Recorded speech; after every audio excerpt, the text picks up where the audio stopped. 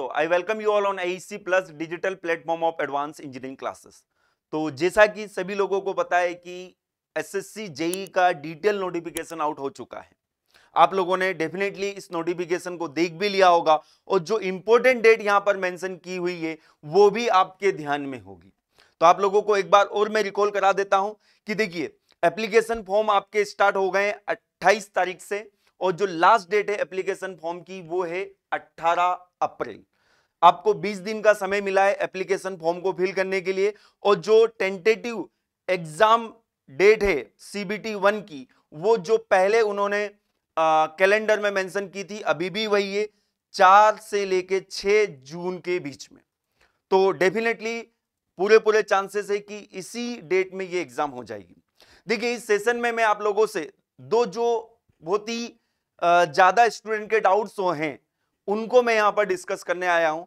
जो पहला डाउट है कि क्या इस एग्ज़ाम में फाइनल ईयर वाले स्टूडेंट एलिजिबल होंगे या नहीं? सेकंड डाउट कि सर क्या डिग्री है हमारे पास? तो हम सभी पोस्ट के लिए एलिजिबल हैं।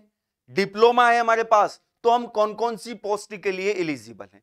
तो ये दोनों डाउट मैं यहाँ पर डिटेल में डिस्कस करने वाला हूँ। सेशन के लास्ट तक आप बने रहिए। चलिए, सबसे पहले मैं आपको बताता हूँ कि क्या फाइनल ईयर वाले स्टूडेंट इसमें एलिजिबल होंगे या नहीं होंगे। हम यहाँ पर सीधा चलते हैं, जो डिटेल नोटिफिकेशन यहाँ पर आया है।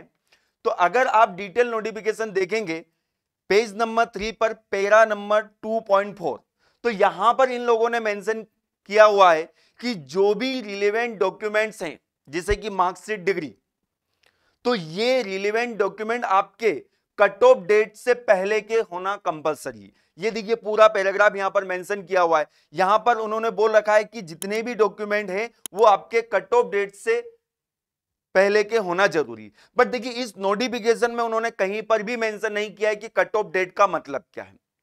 तो हम जानेंगे कि कट ऑफ़ डेट का मतलब यहाँ पर क्या है। अब अगर मैं बात करता हूँ, ये 2024 के डिटेल नोटिफिकेशन के बारे में मैं आप लोगों को बता रहा हूँ। देखिए, इससे पहले जो एग्ज़ाम हुई थी 23 में और 22 में, उसके डिटेल नोटिफिकेशन भी मैं यहाँ पर लेकर आया हूँ। अगर हम बात करें 2023 के डिटेल नोटिफिकेशन की तो एज इट इज़ पॉइंट यहाँ पर मेंशन किया हुआ था कि जो भी आपके रिलेवेंट डॉक्यूमेंट हैं, वो कट ऑफ़ डेट से पहले के होना कंपलसरी सेम नोटिफिकेशन ये था, कुछ भी इसमें चेंजेस नहीं था। तो इसमें भी उन्होंने मेंशन किया हुआ था कि कट ऑफ़ डेट से पहले। बट इस नोटिफिकेशन में भी कहीं पर भी ये नहीं बताया गया था कि कट ऑफ़ डेट क्या है।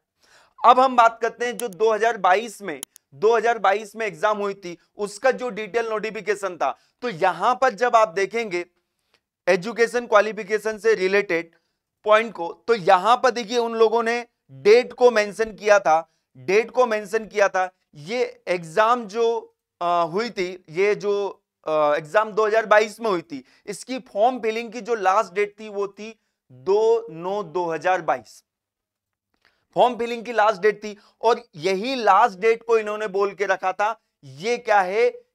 कट ऑफ़ डेट देखिए minimum education qualification experience on before दो नौ दो हज़ार बाईस। अब देखिए सर यहाँ पर तो इन्होंने डायरेक्टली डेट दे रखी थी बट इससे अभी जो नोटिफिकेशन आया उसमें डेट नहीं दे रखी तो मैं आप लोगों को बताना चाहूँगा कि इसी पैराग्राफ को अगर आप पूरा कंप्लीट पढ़ेंगे तो इसमें भी वही पॉइंट मेंशन किया गया था कि जो भी रिलीवेंट डॉक्यूमेंट है वो कट ऑफ़ डेट से पहले के होना चाहिए। देखिए, उन्होंने डेट भी दे रखी थी और यहाँ पर ये पॉइंट भी मेंशन किया था कि कट ऑफ़ डेट इसका मतलब क्या हुआ कि कट ऑफ़ डेट जो है वो, जो एग्ज़ाम फॉर्म को फिल करने की लास्ट डेट होती है, वही कट ऑफ़ डेट होती है। तो आई थिंक आप लोग अभी समझ रहे होंगे कि अगर हम इस डिटेल नोटिफिकेशन की बात करें कि इस डिटेल नोटिफिकेशन में कट ऑफ़ डेट क्या कंसिडर की जाएगी तो आप मान के चलिए कि जो फॉर्म फिलिंग की लास्ट डेट है it mean eighteen of April eighteen of April से पहले अगर आपकी डिग्री डिप्लोमा कंप्लीट है तो डेफिनेटली आप इस एग्ज़ाम के लिए एलिजिबल हो। अदरवाइज़ कोई कुछ भी बोले बट आप ध्यान रखिए बेटा कि आप इस एग्ज़ाम के लिए एलिजिबल नहीं हो। अगर आप फाइनल सेमेस्टर में हो तो आप लोगों को पता है कि फाइनल सेमेस्टर का रिज़ल्ट जो है, वो जून के बाद ही आएगा, जून जून के बाद ही आएगा। अप्रैल तक तो एग्ज़ाम भी नहीं होती है फाइनल ईयर के स्टूडेंट का तो डेफिनेटली फाइनल ईयर वाले स्टूडेंट ना तो डिग्री वाले, ना डिप्लोमा वाले इसके लिए एलिजिबल। अभी तक कुछ स्टूडेंट्स हमारी बात भी हुई है, जो ऑलरेडी वर्किंग है। तो उन लोगों से भी बात हुई है, सर। अभी तक कभी भी ऐसे स्टूडेंट वहाँ पर नहीं सिलेक्ट हुए हैं, जो कि फाइनल ईयर में थे, रनिंग में थे, उनकी डिग्री, डिप्लोमा कंप्लीट नहीं हुआ था और उन्होंने फॉर्म फिल किया था। अच्छा एक बात और मैं आप लोगों को बता देता हूँ, जब आप फॉर्म फिल करने जाओगे तो वहाँ पर वहाँ पर भी आपसे पूछा जाएगा पासिंग ईयर। तो पासिंग ईयर मतलब अगर आप पहले ही पास आउट हो 2023 में पास आउट हो तो आप वो पासिंग ईयर 2023 आप वहाँ पर इंटर करेंगे। और 2024 का भी ऑप्शन डेफिनेटली मिलेगा, बट 2024 का ऑप्शन किन स्टूडेंट के लिए मिलेगा, जिनकी डिग्री डिप्लोमा अप्रैल से पहले कंप्लीट हो चुकी होगी। तो आई होप कि आप लोगों को ये डाउट आपका क्लियर हो गया होगा। नेक्स्ट जो स्टूडेंट का डाउट होता है कि, सर, इस वैकेंसी में डिग्री वाले, एलिजिबल है या डिप्लोमा वाले तो आप लोगों को मैं बताना चाहूँगा, देखिए यहाँ पर जो एसेंशियल क्वालिफिकेशन मेंशन किया हुआ है, जैसे कि हम बात कर लेते हैं यहाँ पर बीआरओ जेई सिविल इंजीनियरिंग तो यहाँ पर आप देखेंगे, degree in civil engineering from the recognise university तो यहाँ पर, जहाँ पर डिग्री लिखा हुआ है, देखिए क्लियर कट मेंशन किया हुआ डिग्री तो यहाँ पर डिग्री वाले स्टूडेंट एलिजिबल है बट यहाँ पर और में देखिए three year diploma three year diploma के साथ में टू ईयर का एक्सपीरियंस। तो देखिए, डिग्री डिप्लोमा वाले इसमें दोनों एलिजिबल होंगे, बट डिप्लोमा वालों के लिए टू ईयर का एक्सपीरियंस रिक्वायर्ड।